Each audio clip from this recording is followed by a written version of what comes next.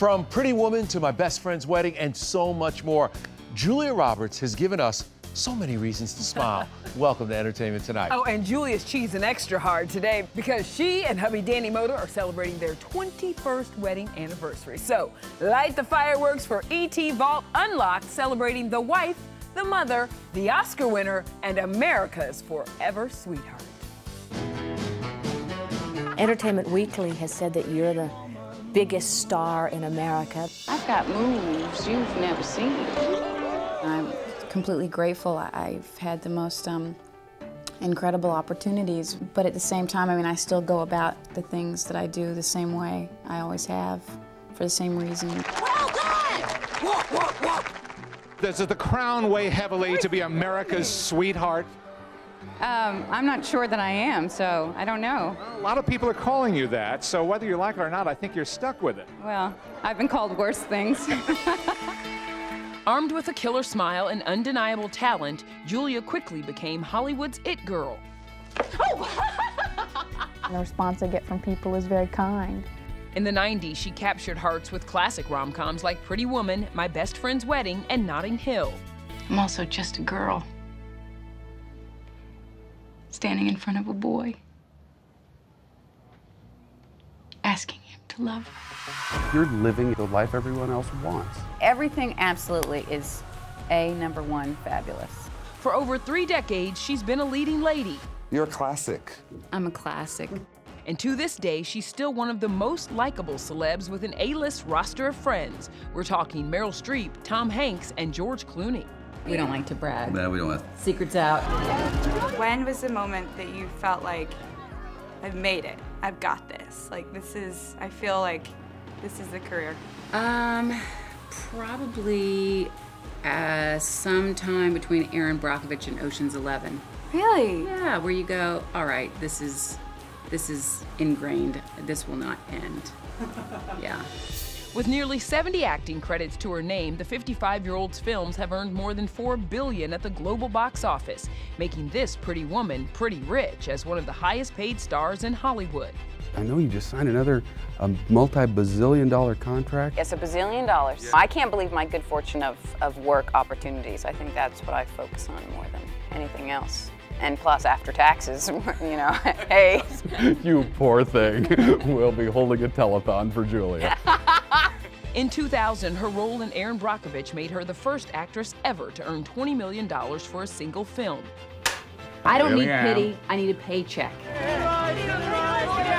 Julia's our girl. She's good friends of ours, and, and you know, we're here to support her. Denzel Washington, Brad Pitt, and Jen Aniston all came out to the big premiere. The role earned Julia a Golden Globe, SAG Award, and Oscar Gold. I love it up here. So happy. Thank you. I mean, outside of adulation for what you do inside your house with your family, it's the highest honor that an actor can be paid to be recognized in this way. I just want to enjoy this moment. It may never come again, so it's to be really reveled in and appreciated and, um, you know, yeah, cartwheels, yeah. squealing like a little piglet. The mom of three also reportedly banked three million plus a percentage of the box office for both Mother's Day and Valentine's Day, small roles that only required a handful of days on set. You look very pretty. Thank you. The most powerful person in Hollywood. How does that feel? Um, hilarious in a word. I think number of teeth is part of the tabulations or something. And here's a fun fact Julia's first brush with fame happened the day she was born. Start with the day you were born. Who paid for the hospital bill? Uh, the King family paid. Martin Luther King Jr. and Coretta. And how did that come about? Obviously, because my parents couldn't pay for the hospital bill. Yes, the King stepped in. Julia revealed her connection to the civil rights leaders last year during a History Channel sit down with Gayle King. My parents had a theater school in Atlanta called the Actors and Writers Workshop. And one day, Coretta Scott King called my mother and asked if her, her kids could be part of the school because they were having a hard time finding um, a place that would accept her kids. And my mom was like, sure, come on over. And so they just all became friends and they helped us out of a jam. Julia always seemed to know she was destined for big things. She left her hometown just three days after her high school graduation. I am just a girl from Smyrna, Georgia, who wanted to, um, you know, be in movies and get a certain amount of attention. I mean, I wasn't wallflower scum, but I wasn't, you know, popular. I wasn't a cheerleader, and I wasn't considered, you know, Did you want to be? the girl in demand. Who didn't want to be popular in high school? When I first moved to New York City, when I was 17, and I got there, and there were so many people, it was all so fast. And my sister, who I was living with, was so busy with school and her friends, and so I, just going to the ATM, I had to really like muster up the courage to get across all those avenues to get my $20 bill and then run back to the apartment. And um, at one point, I called her and said, you know, I don't think this place is for me. I'm, I think I'm gonna come on back home. And she said, mm, I don't think that's a good idea. Oh! Yeah. And thank goodness. My first job was on Crime Story. And just because I say this doesn't mean you guys have to go digging for clips. I just don't like him. Mom, I don't like you being out half the night. And then about a year or so later, I did the, um, I believe it was the last episode of Miami Vice, which, you know, I just, I could not have been worse. You always this efficient. Not always. Sometimes I come home undone. I noticed. In 1986, Julia co starred with her big brother Eric in the Western film Blood Red. E.T. was on set. It's my uh, sister Julia's first film, and uh, we're having a great time. She uh, plays you, my sister, in the film. Marco? There was no reason for it to um, all happen for me except for that I really wanted a chance to prove myself. And that's really what it comes down to is, is getting a chance. Um, without that, you can never really, you could be wonderful at what you do, but if someone doesn't give you the chance to prove it, then, then you know, you're just stuck. So I just wanted to go and, and see what I could see and prove what I could prove. Julia's first critical success opened just a year after her acting debut. I'm gonna be slinging pizza for the rest of my life. I turned 20 on that movie. Maybe I turned 21 on that movie. I think of that movie so fondly. The coming of age rom com Mystic Pizza debuted in 1988, the same year Julia first sat down with E.T. Tell me about Daisy. She's just very vivacious and um, very high spirited, spunky, wild. My car! How did you get the role? Well, I, I just, I, put black mousse on my hair because they told me I, I looked too, you know, blonde. Did you like it? I did like it. I grew, I grew to love it actually. Are you surprised by the popularity of the film itself? Um, I have to say I am. Yes, I am surprised. What do you think this is, is going to do for your career? I'm just the same as I was before I made Mystic Pizza. Whatever happens, happens. And what happened next? Back to back Oscar nominations. What a rush! That's a good word for it, yeah. The first came after her appearance in the all star ensemble for Steel Magnolias. Prince Charles and Diana were royal fans. What's the film about? A mother and daughter and kind of their ability and inability to face the realities of their lives, which is that this daughter is very sick and will always be sick. Open your eyes, Shelby. Open your eyes. Open your eyes. Look. Who's in it? Um, who's in it? You got a minute? Sally Field, Olympia Dukakis, Shirley MacLaine, Daryl Hannah, Dolly Parton. Is there any way you can put into words what you learned watching that group in action? Well, um, I learned that you can't really wholly respect an actor until you've worked with them, until you stood toe to toe and said, I don't know what I'm doing, and they helped you, until, um, until they become your friend, until you cry with them and laugh with them. I respect these five women more than any other actors I know. I felt um, especially close to Sally because she played my mama. Shelby, you need some juice. You need some juice. Stop it, Mom. There are times when if she weren't there, I wouldn't have known what to do. She always knew what to say. The moment she walked on the set for the, the first rehearsal, I called my agent and said, I think you should handle her. This girl's going to be a star. And we hadn't even done one uh, scene. Julia has become Just, she just skyrocketed off. We're all so proud of her. What a beautiful woman, huh? well, it's true. Julia followed that up with Pretty Woman, which is still one of the top five highest earning rom coms of all time. E.T. was on set in 1989. You're obviously in the wrong place. Please leave. I have attempted to go shopping earlier and was not very successful in getting the women in the store to be very receptive to me.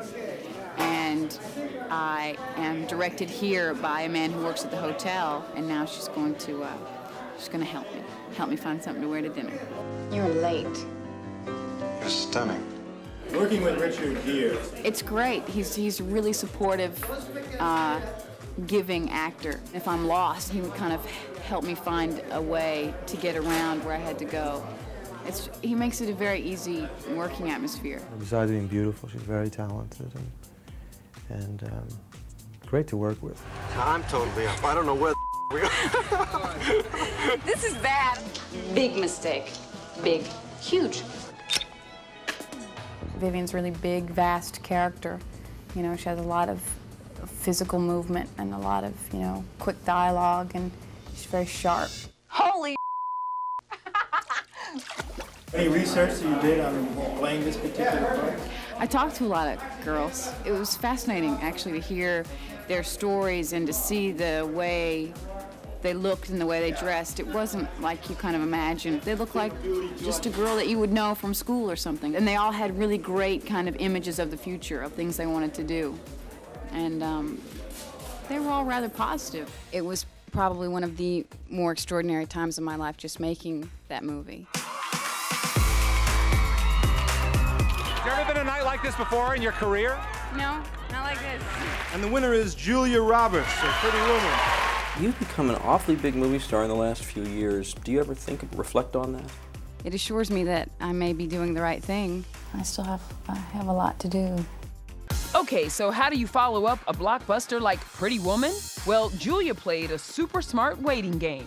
I think the biggest uh, risk that I've taken in my career as an entirety was when I stopped working shortly after the success of Pretty Woman. I just wasn't really getting any scripts that I felt I wanted to align myself with. And so it wasn't until the Pelican Brief, and it was almost two years that it didn't work. Everyone I've told about the brief is dead. It paid off in The Pelican Brief. Julia played a law student who uncovers an assassination plot. Her love interest? Denzel Washington. A little known secret about that scene the two time Oscar winner actually declined to kiss Julia in the movie because he feared upsetting his fan base of black women. That was Denzel's decision, for the record, um, because of his character, which made perfect sense character wise. But for me, I was kind of like, wow, bummer. you know, and I still have people come up to me and say, why didn't you kiss Denzel in Pelican Brief? And I'm like, oh my God. I would like to get back with Denzel. In what kind of role? I don't know, something ferocious. Pelican Brief was the connection for you guys, and now she's grown so much over the years as well. Do you tell her how proud you are? Absolutely. Well, last time we talked, we were on a tennis court, and she was beating me, so I was, I was, tell, I was telling her other things that day. And there was no denying the chemistry when Julia teamed up with another leading man, Hugh Grant. Thanks. Pleasure. It was for another movie we loved, the 1999 rom-com Notting Hill. You'll be my date to my little sister's birthday party. If it's all right. The film has you playing a Hollywood superstar, Mm. big movie star. Mhm. How do you do that? I mean, it's a bit tricky uh, because you don't want to do a caricature.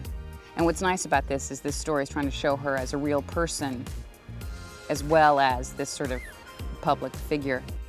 Next came miniskirts and padded bras, bringing to life the true story of environmental activist Erin Brockovich. I've got $74 in the bank. I can't afford to settle down. It's compelling material because you have a person who is the most unsuspecting of heroines, uh, who also happens to be really, you know, just fabulous and kind of bigger than life and vivacious and incredible and talks like a sailor and like all these great things to play. Your assessment of Julia Roberts portraying you. She's phenomenal. Yeah? She's absolutely awesome. The more I see the movie and watch it, the more I think, okay, yeah, well, those, yeah, that's great. Julia Roberts. The role won her an Oscar. This movie was sinfully fun to make. I love it up here. It's not since Erin Brockovich really that I was in a movie shooting every day. And Really in almost every scene in this film. yeah, Julia was all in for 2010's Eat, Pray, Love, playing a woman on a journey of self discovery and self acceptance. I'm so tired of counting every calorie I consume so I know exactly how much self loathing to take into the shower. I'm just through with the guilt. So this is what I'm gonna do. I'm gonna finish this pizza and buy ourselves some bigger jeans. Did you put on any weight over there? I did. You I did. did. I mean, it became inevitable. Yeah. I was like Olympic carbo loading. When in Rome. Yes. Absolutely. Okay, and if we're picking favorite Julia projects, this was magic.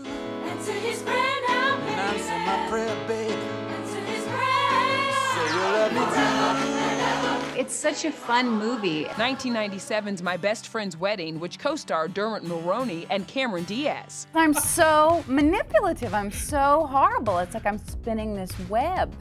And, and you know, Cameron is just like, oh, you know, doing the thing. And I think, how can I just ruin this poor girl's life? Is this a uh, comfortable kind of role for you? Well, I think everybody loves to see these kinds of roles because we all like to go to a movie and just be hopefully completely entertained. Nearly 25 years later, Julia told us the film still brings the feels. I mean, Dermot and I, anytime it's like on TV or the song that plays from when we're on the the ferry boat together, And the way you we always are calling each other. I think we were just lucky. The alchemy of our relationships really, I think, is what stands the test of time in that movie.